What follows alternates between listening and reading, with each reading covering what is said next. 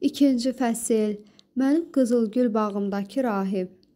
Görüş zamanı özümü sakit göstərsəm də, ofisimə aparan uzun dəhlizdə məni tər bastı. Son ayların gərginliyi məni öldürürdü və başa düşürdüm ki, şirkətin uçuruma yuvarlanmasının qarşısını almaq üçün tədbir görməliyəm. Artıq bilmirdim kiminlə danışım və ya nə edim. Əlbəttə, bizim üzləşdiyimiz problemlərin cəld həll yolunu təklif edəcək məsləhətçi komandasına müraciət etmək olardı. Lakin hiss edirdim ki, bizim coşqun və şəfqətli insanlarla dolu olan xəyali bir şirkətdən iş vaxtının bitməsini gözləyən bürokratik maşına çevrilməmizin səbəbini tapmaq üçün daha dərinə getmək lazımdır. Ofisimə çatanadək artıq alnımdan tər axırdı və köynəyim yaş idi. Köməkçim bu halımı görüb özünü yetirdi və qolumdan yapışdı. O məni əzəmətli ofisimdəki tavanadək yüksələn kitab şkaflarının yanına yerləşən dəri üzlüklü yumşaq divanıma oturtdu. Şəxsi həkimimi və ya təcili yardım briqadası çağırmağın lazım olub olmadığını soruşdu. Ona cavab vermək nəzakəti belə göstərmədən divana uzandım və gözlərimi yumdum. Hardasa oxumuşdum ki, stresslə üzləşən zaman sakitləşmək üçün xəyalən hansısa bir sakitləşdirici mənzərəni təsəvvür etmək lazımdır. Mən də bunun üçün əlimdən gələni etdim. Sakitləşməyə macal tapmamış, möhkəm bir səsə səksəndim. Elə bir kimsə ofisimin pəncərəsindən birinə daş atdı. Sakitliyimi pozanı görməyə çalışaraq yerimdən sıçradım və böyük pəncərələrdən birinə doğru qaçdım. Ancaq heç kimi görə bilmədim. Düşündüm ki, bəlkə yaşadığım stressdən sonra xəyal görürəm. Yavaş-yavaş divana yaxınlaşırdım ki, bu yenidən baş verdi. Lakin bu dəfə daha çox yüksək səslə. Bu kim ola bilərdi ki, təəccüblənərək katibəmə təhlükəsizlik xidmətini çağırmasını tapşırmağı düşündüm.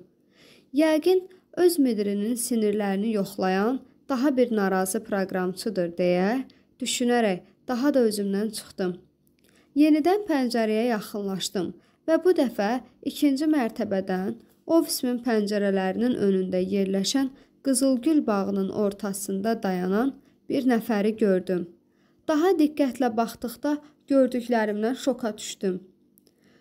Qızıl güllərin ortasında 10 il bundan əvvəl egzotik ölkəyə etdiyim səfər zamanı gördüyüm Tibet rahiblərinin geyindiyi xələtə oxşayan, kapşiyonlu, qırmızı xələt geyinmiş valihedici cavan oğlan dayanmışdı.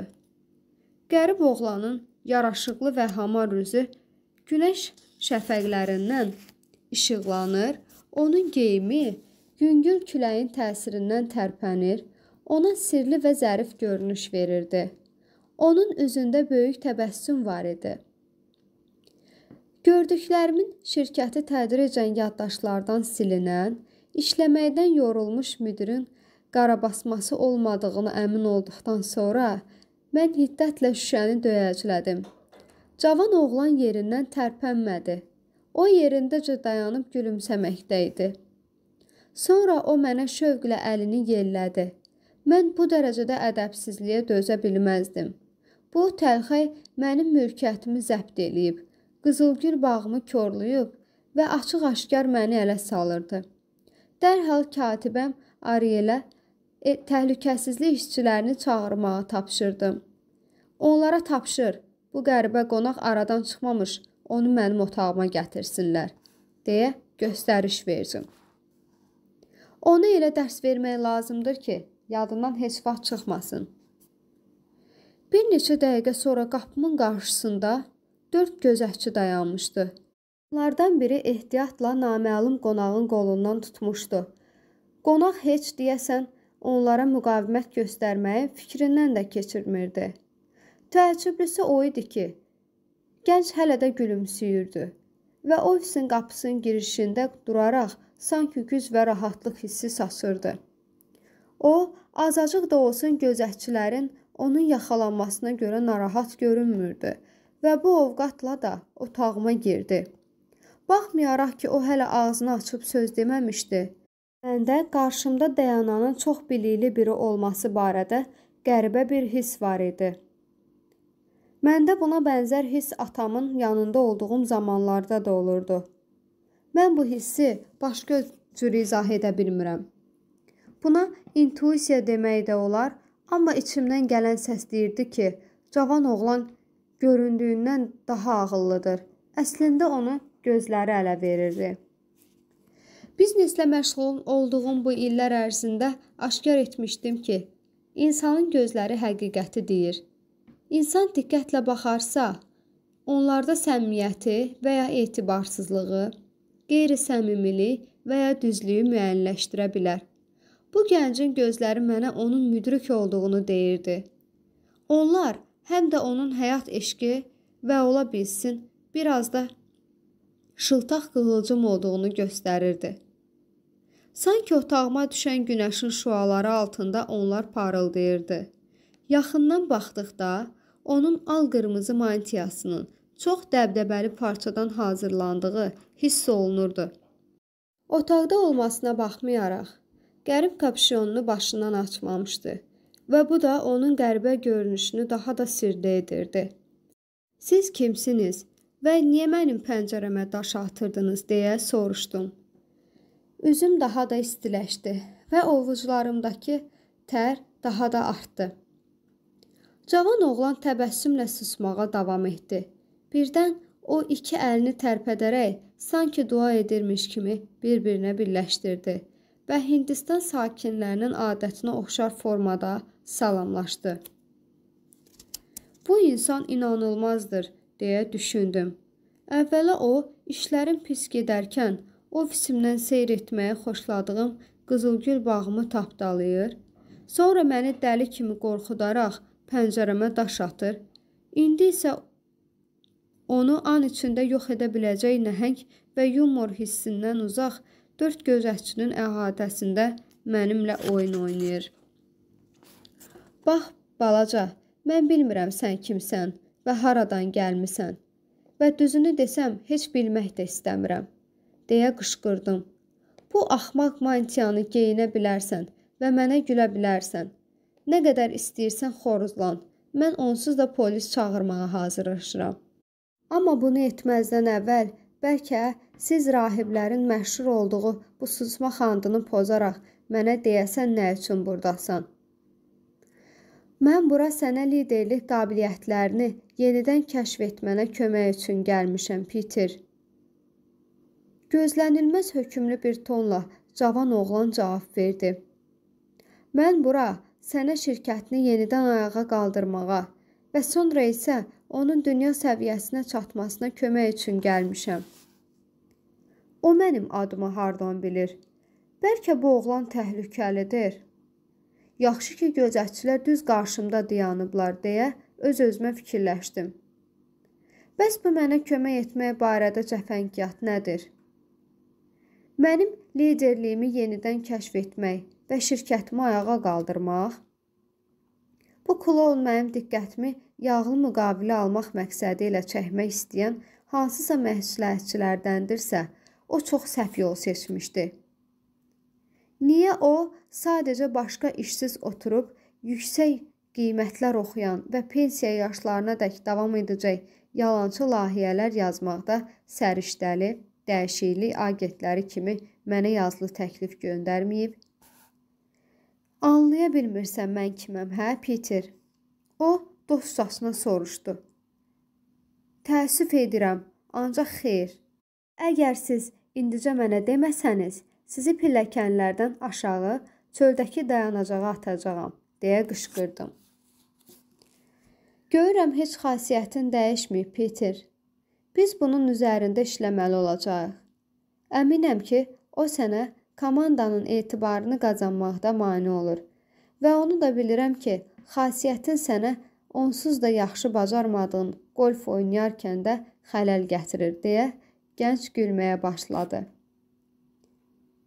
Sən heç bilirsən kiminlə danışırsan? Özündən razı fırıldaqçı, deyə məmalı qərbin boyu hündür və sağlam fiziki vəziyyətdə olmasına fikir vermədən qışqırdım.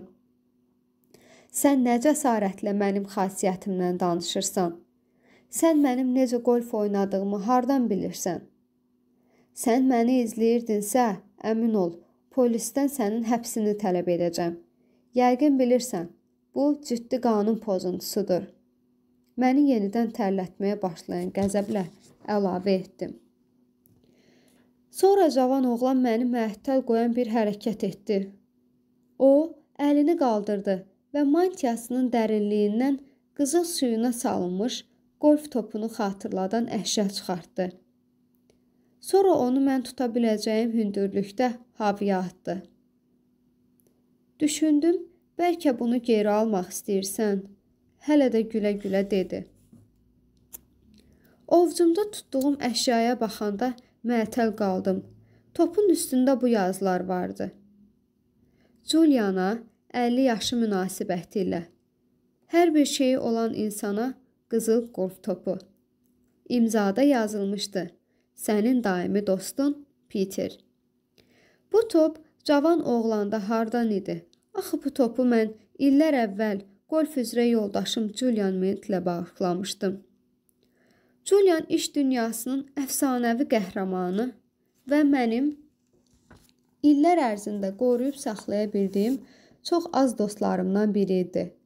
O, çox böyük zəkaya sahib idi və ölkənin ən yaxşı vəkillərindən biri kimi tanınırdı. Məndən fərqli olaraq o, varlı ailədən çıxmışdı.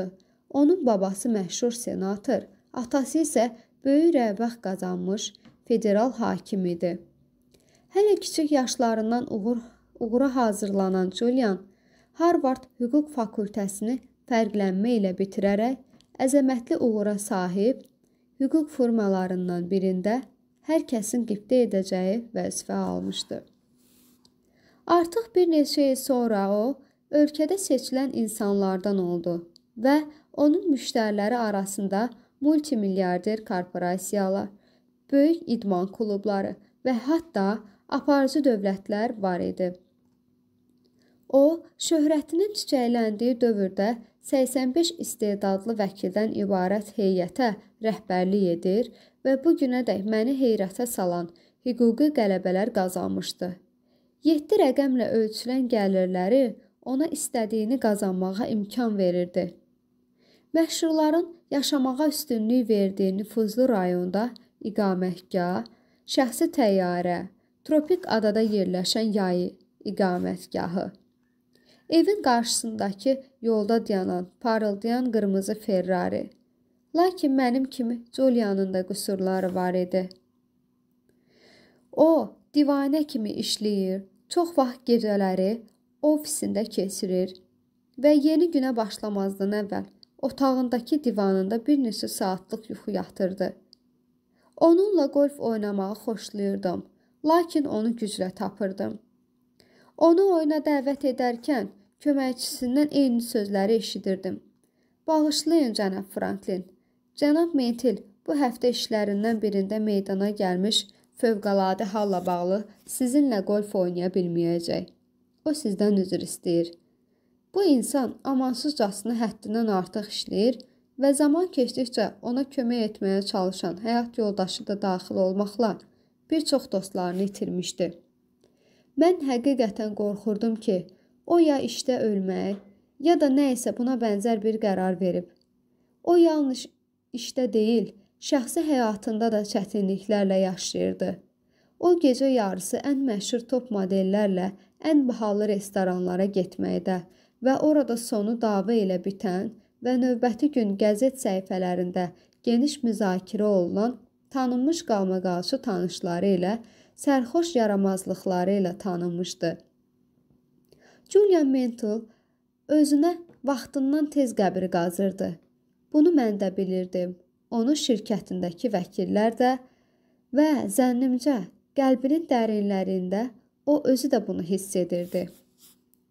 Mən Julianın sürətlə enişini kədər hissi ilə izləyirdim. 53 yaşında o 70 yaşında qoca kimi görünürdü. Mütəmadi gərginlik və ağır həyat tərzi onu fiziki cəhətdən zəiflətmiş üzünü qırışlar atmışdı.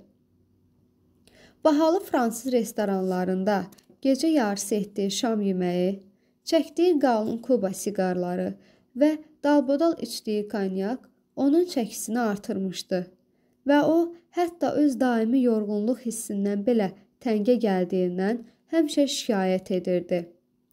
Zamanla o bir vaxtlar ona məxsul şıltaq yumor hissini də itirdi və nadir hallarda gülümsüyürdü. Baxmayaraq ki, o bu idman növünü və mənimlə şəhərdən kənarda vaxt keçirtməyi xoşlayırdı, elə bir zaman gəldi ki, artıq qolf oynamaqdan əl çəkdi.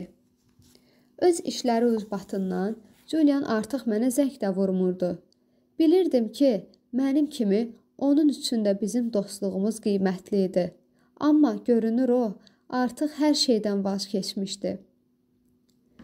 Sonra möhtəşəm Julian Mantle faciə ilə üzləşdi. Bir bazar ertəsi səhəri ən yaxşı müştərilərindən olan Air Atlantic şirkətinin işini ağzına dək dolu məhkəmə zalında müdafiə edərkən o huşunu itirib yerə yıxıldı. Onu dərhal köməkçilərinin qışqırıqları və zaldakı jurnalistlərin fotokameraları arasından xəstəxanaya çatdırdılar.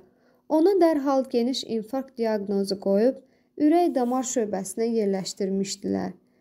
Kardioloq bildirmişdi ki, Julian onun klinikadakı bir çox xəstəsindən ölümə daha yaxın idi. Lakin o necəsə xilas oldu. Həkimlər demişdi ki, Julianda döyüşçü ruhu və belə görünür, qəhrəmancasına yaşamaq iradəsi var idi. Həmin kədərli hadisə Julianı köklü şəkildə dəyişmişdi. Elə növbəti gün o, hüquq sahəsindən bir yolluq uzaqlaşdığını elan etmişdi.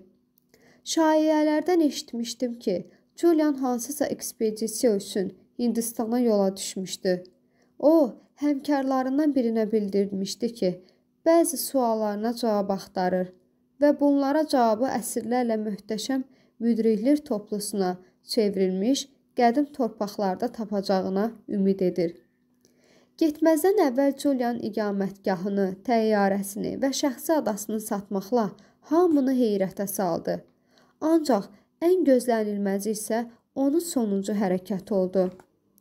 Julian çox sevdiyi Ferrarisini satdı. Nəhayət fikirlərim hələ də otağımın ortasında dayanıb, qəhvəyi saçlarını kapşonla örtərək rahib mantiyasında gülümsəyən qəribə gəncə döndü. Bu qızılı qov topu səndə hardandır, deyə sakit səslə soruşdum. Bu topu mən illər əvvəl əziz bir dostuma ad gününə xüsusi hədiyyə olaraq bağışlamışdım. Xəbərim var, qonaq cavab verdi və bu hədiyyəyə onun çox xoşuna gəlmişdi. Öyrənmək olar və sən bunları hardan bilirsən deyə təkid etdim. Bəli, çünki mən elə həmin dostam. Mən Julian Mentiləm.